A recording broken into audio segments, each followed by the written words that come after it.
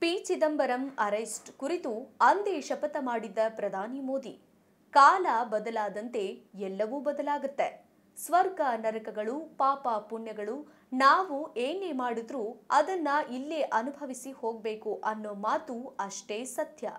ತಪ್ಪು ಮಾಡಿದವರು ಒಂದಲ್ಲ ಒಂದು ದಿನ ಆ ತಪ್ಪಿಗೆ ಶಿಕ್ಷೆ ಅನುಭವಿಸಲೇಬೇಕು. ಪಾಪ ಪುಣ್ಯಗಳು, ಬಡವ ಶ್ರೀಮಂತರು, ದೊಡ್ಡವರು, ಚಿಕ್ಕವರು ಅನ್ನೋದನ್ನ ನೋಡಲ್ಲ.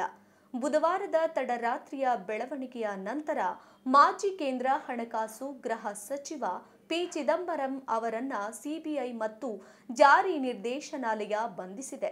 ಕಳೆದ ಲೋಕಸಭಾ ಚುನಾವಣೆಯ ಪ್ರಚಾರದ ವೇಳೆ ಕಾಂಗ್ರೆಸ್ಸಿನ ಇದುವರೆಗಿನ ಭ್ರಷ್ಟಾಚಾರದ ವಿರುದ್ಧ ವಾಗ್ದಾಳಿ ನಡೆಸಿದ್ದ ಮೋದಿ, ಚಿದಂಬರಂ ಅವರನ್ನು ಹಿಗ್ಗಾಮುಗ್ಗಾ ತರಾಟೆಗೆ ತೆಗೆದುಕೊಂಡಿದ್ರು.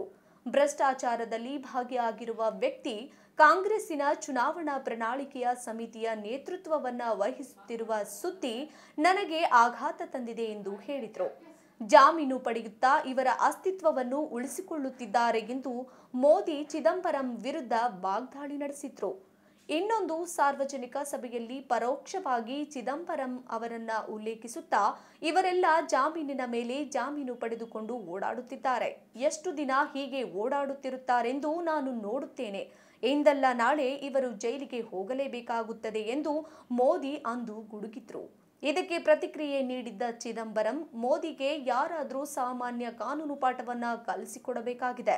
ಸುಪ್ರೀಂ ಕೋರ್ಟ್ ಅತ್ಯಂತ ಸ್ಪಷ್ಟವಾಗಿ ಜಾಮೀನು ನಿಯಮ ಮತ್ತು ಜೈಲು ಅಪವಾದ ಎಂದು ಹೇಳಿದೆ ಎಂದು ಮೋದಿಗೆ ತಿರುಗೇಟು ನೀಡಿದ್ರು.